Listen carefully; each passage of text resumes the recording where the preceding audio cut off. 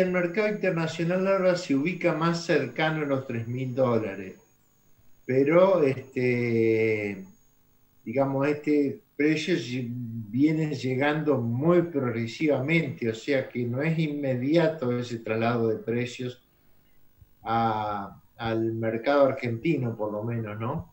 ¿La perspectiva es que estos 3 mil dólares se mantengan o, que bajen un poco? ¿Cómo lo están viendo?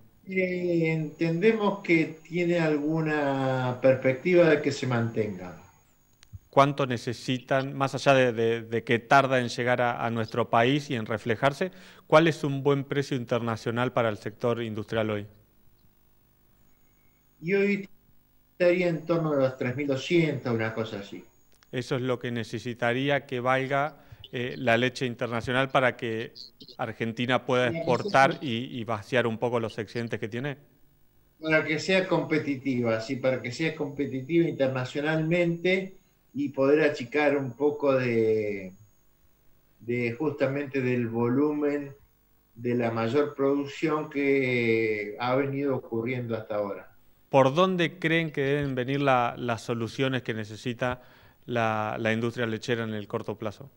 Y en el corto plazo, este, digamos, es muy difícil la situación porque la mayor oferta que hay de, de, producción y en consecuencia de productos este, hacen que necesariamente haya que venderlos más, bajos, más bajos o con ofertas o con bonificaciones. En consecuencia, eh, este, esa, variable es bastante complicada. Esperemos que eh, la exportación o vía el comercio internacional se logre recaudar este, lo suficiente como para poder seguir abasteciendo a todos los, los que, digamos, los proveedores de esta cadena, ¿no? Toda esta situación, pensar en un aumento al, al productor parece imposible hoy, ¿no?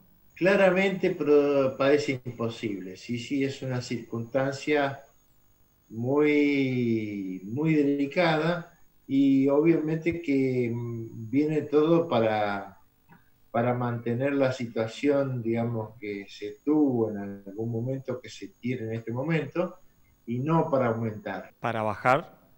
No sé, porque la industria aprovechó para hacer este este, este ajuste, digamos, eh, con los sólidos, o sea, manteniendo el valor de sólidos, este, el precio final termina siendo más bajo también un poco, ¿no?